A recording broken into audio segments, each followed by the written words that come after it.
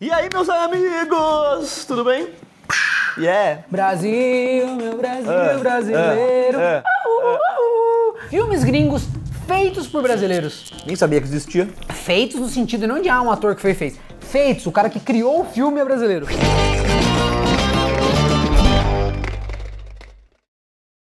Bom, galera, quem acompanha a gente nas redes sociais deve saber que rolou um mistério com a aparição surpresa do ator do Leslie Baker no Brasil. E aí não demorou pra revelarem que era uma parceria com o Nubank. Pois é, ele andou gravando aqui um filme de quase 7 minutos que tá disponível no canal do Nubank e a gente vai ver agora pela primeira vez. Olha lá, aquelas reuniões que a gente tá acostumado, Ah, né? ele já tá Ele- dormindo, olha lá, Ele tô tá vendo. dormindo na reunião.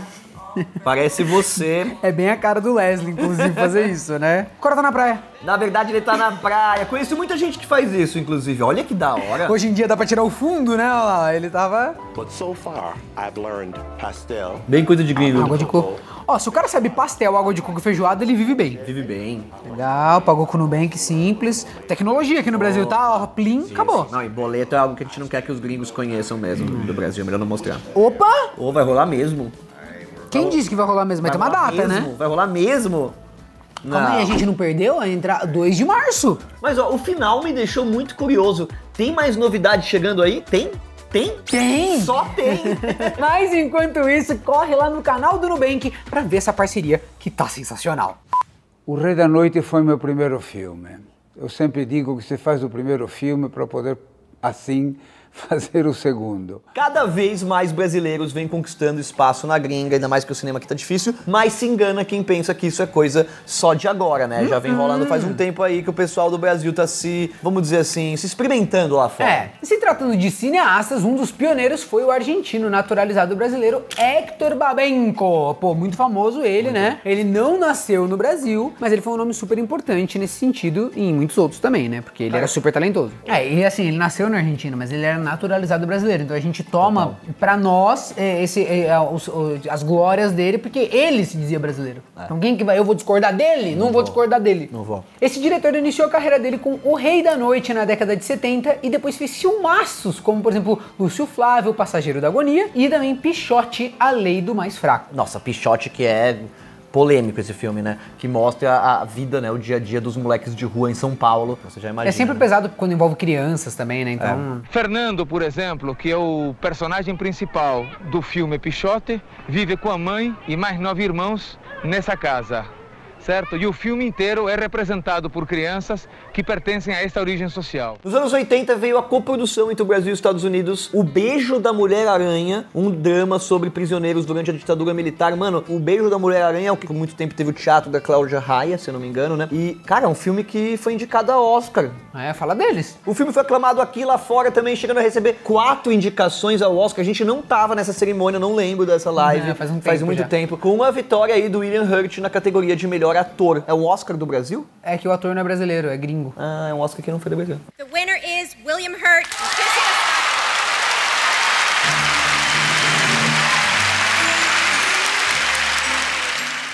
Depois foi a vez de Iron Weed, uma produção totalmente dos Estados Unidos, que rendeu indicações ao Jack Nicholson e também a Mary Streep, apesar de ter deixado a crítica meio dividida. Quem também ajudou a abrir várias portas foi o Bruno Barreto, diretor de clássicos nacionais como Dona Flor e seus dois maridos, Gabriela e Cravo Canela também, que é antigo e fez muito sucesso. Ele fez vários trabalhos nos Estados Unidos, como Assassinato sob Duas Bandeiras, Atos de Amor, Voando Alto e O Coração da Justiça, marcando a última aparição do lendário Vincent Price.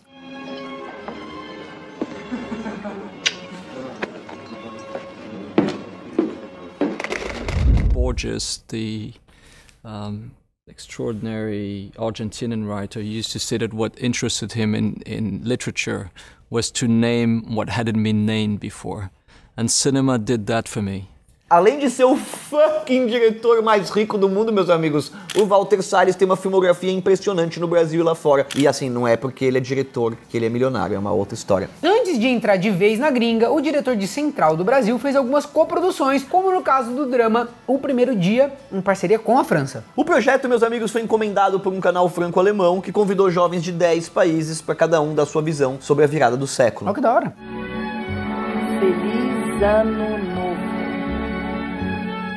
Depois de fazer grandes trabalhos aqui, o Walter comandou a biografia Diários de Motocicleta sobre a longa viagem do jovem Che Guevara e o seu amigo Alberto Granado. A produção envolveu nada menos que sete países diferentes e as filmagens passaram por locais como Argentina, Chile, Peru, Colômbia, Venezuela. Pô, é incrível, né? A estreia aconteceu no Festival de Sundance lá nos Estados Unidos e aí foi aclamação instantânea. Esse filme foi indicado a várias premiações, chegou a ganhar dois BAFTAs e um Oscar. E aí finalmente veio a estreia hollywoodiana em 2005 com A Água Negra, que é um remake do terror japonês de 2002. A obra dividiu opinião por ser considerada lenta e por ir mais a fundo no drama do que no terror. E isso não é necessariamente um, um problema, na minha opinião, ainda mais considerando a safra atual, né? De que hoje em dia estamos mais acostumados a ver obras de terror que tratam assuntos dramáticos, né? E dão um palco pra isso também.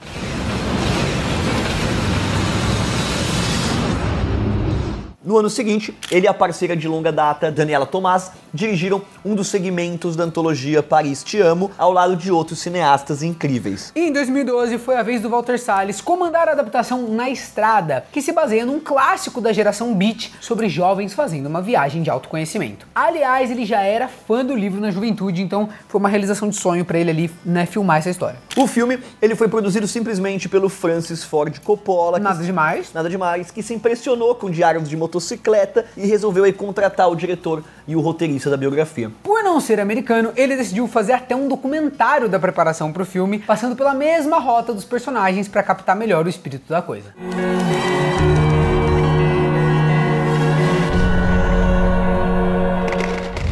O diretor basicamente é aquele que, para dizer com uma piada, é o cara que não sabe fazer nada, mas que junta a equipe que sabe fazer, né, os especialistas. Depois do Fernando Meirelles conquistar o mundo com Cidade de Deus, deve ter sido fácil conseguir trabalho fora do Brasil, porque na sequência já veio O Jardineiro Fiel. Essa produção inglesa é baseada num livro sobre a exploração da indústria farmacêutica em vidas humanas, meus amigos, lá no Quênia, em meio a uma investigação de um assassinato, não, história completamente beza- bizarro e uma história necessária. É a coisa mais normal do mundo estúdios e produtores gringos quererem usar diretores estrangeiros recém-consagrados, mas sem dar muita liberdade artística pros caras também. Hollywood. Felizmente não foi o caso, deixaram o cara trabalhar. É, segundo o Fernando, foi muito tranquilo dirigir o filme nesse aspecto, sem imposições, inclusive a montagem aconteceu em São Paulo e ficou exatamente do jeito que ele queria. Não é à toa que o resultado final foi absurdo. E o Jardineiro Fiel conquistou vários prêmios importantes, incluindo o BAFTA de melhor montagem e também o Oscar de atriz coadjuvante para Rachel Weisz.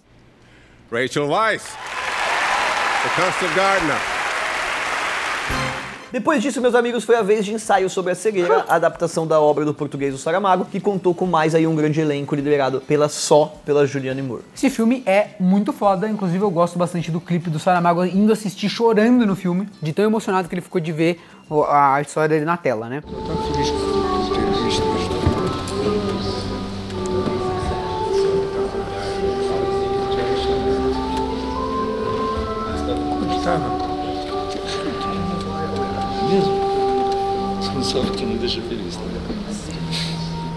E o Meirelles decidiu gravar em inglês para deixar o conteúdo mais universal, sem parecer um país específico, né? É, Existe num, num ambiente assim, sem especificação. Pois, isso, isso eu acho que é até um acerto pra tentar deixar o filme mais internacional. Isso, fazer não só o Brasil e mais longe, mas também a história do Saramago, É. né? E grande parte das filmagens rolaram aqui em São Paulo, com o intuito de evitar um background familiar pros gringos. Assim, pra que quando esse filme chegasse nos Estados Unidos, os caras não olhassem, ah, eu sei essa rua aí, ó. Ah, olha lá, Sally. Os prédios, é. A produção foi complexa e exigiu até o treinamento de 700 figurantes, além do elenco para simular a cegueira. O resultado final foi divisivo, mas o próprio Saramago se emocionou com o filme. I see you. After all this time, I actually see you.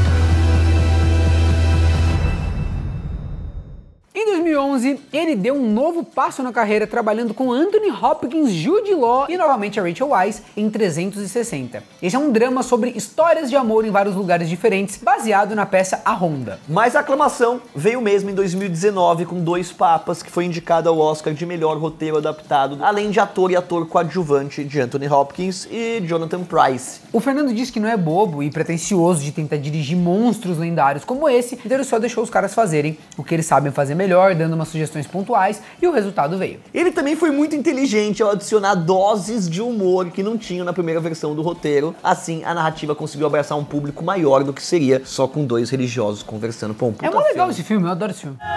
People, must remember that you are not God. You're only human. que o Dois Coelhos estreou nos cinemas, um agente americano viu o filme, veio aqui pro Brasil, a gente fez algumas reuniões. Quando eu percebi, eu já estava nos Estados Unidos, em Los Angeles, fazendo reuniões com alguns estúdios. Na contramão, o Afonso Poyá não teve uma experiência assim tão fácil como o Hopkins quando dirigiu Presságios de um Crime sobre um médium que ajuda o FBI a resolver uma série de assassinatos. Cara, é muito legal. Esse cineasta é um cineasta que eu me identifico, cara, porque ele começou com publicidade. E a primeira vez que ele fez um filme foi em Dois Coelhos, que foi meio que tipo aí uma aposta da, da produtora, né? Do... E é mó legal Dois Coelhos.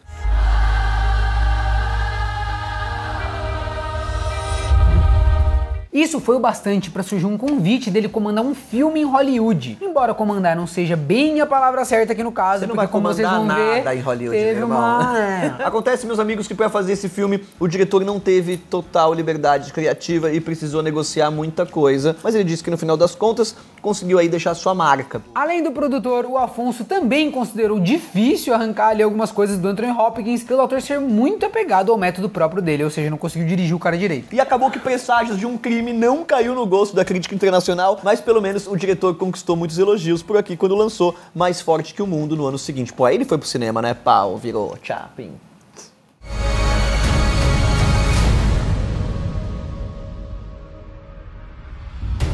Mais forte que o mundo. A história de José Aldo. E eu com um monte de proposta. Vem aqui fazer uma série da Netflix. Vamos fazer esse filme aqui. Você não quer escrever um roteiro pra gente? Aí eu olhei e falei, Jô. Jô, minha esposa, né?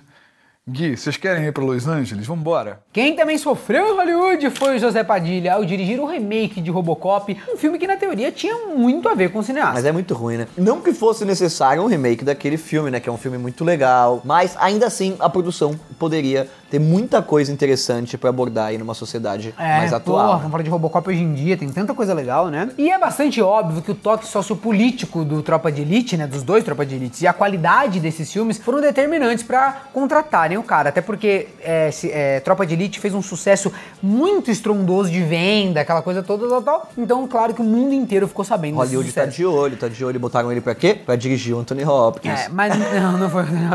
mas não parece ter sido suficiente para os executivos confiarem nele na hora de realmente né, tomar as decisões importantes pro filme. Em 2012, dois anos antes do lançamento, já tinha rolado um sinal de alerta quando o Fernando Meirelles revelou que o Padilha admitiu tá na pior experiência de toda a vida dele. O diretor teria dito que 9 a cada 10 ideias eram rejeitadas pelos executivos. Ah, a gente sabe o que é isso. É, e assim, quem viu sabe que o filme tem boas intenções e alguma qualidade ali, mas não se justifica diante do original. Aparentemente, ele teve muito mais liberdade ao fazer Sete Dias em Entebbe, um thriller político sobre o sequestro do avião da Air France lá em 76. E não se trata de filme, mas vale lembrar que o José Padilha é produtor executivo da série Narcos, tendo até dirigido os dois primeiros episódios, ajudando a dar o tom da coisa. E essas duas direções são sim muito boas. We had no idea what we were in for.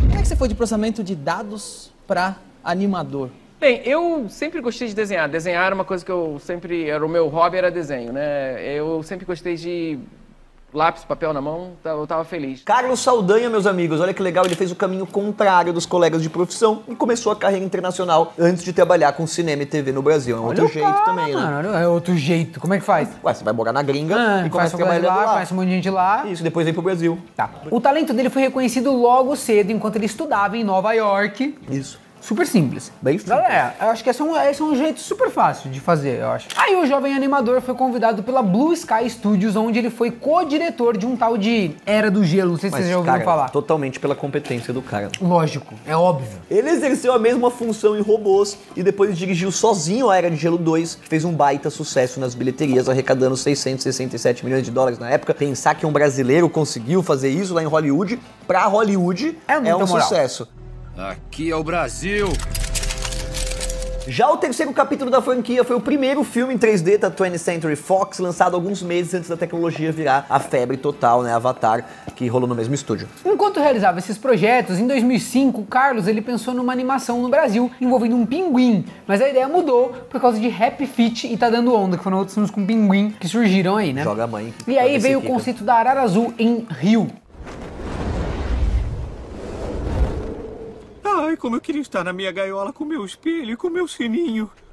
Esse foi mais um hit na carreira do animador e teve toda uma brasilidade, valendo destaque aí pra parte musical, com o Sérgio Mendes, o Carlinho Brau, indicado ao Oscar aí de melhor canção original. O Ibama não gostou, mas o Pipocando deu Aprova. nota 10. O sucesso rendeu uma continuação menos badalada, mas depois o Carlos Saldanha voltou a se consagrar com o Touro Ferdinando. Esse é considerado por ele o filme mais difícil, né? Mas o diretor e a equipe tiraram de letra a adaptação, que expande bem a história curtinha do livro. Pois é, o tema pacifista e de aceitação, somado ali ao carisma do touro interpretado pelo John Cena, É. fizeram valer a indicação ao Oscar de melhor animação. Porra, esse cara é muito foda, Ele né, é muito mano? foda. Palmas pro Tudo que ele põe Saldanha. a mão, o bagulho vai, vai embora, mano. Pô, Eu acho que é devia, devia ter um peixe em nome dele. Do mesmo jeito que tem sardinha, tinha que ter o Saldanha.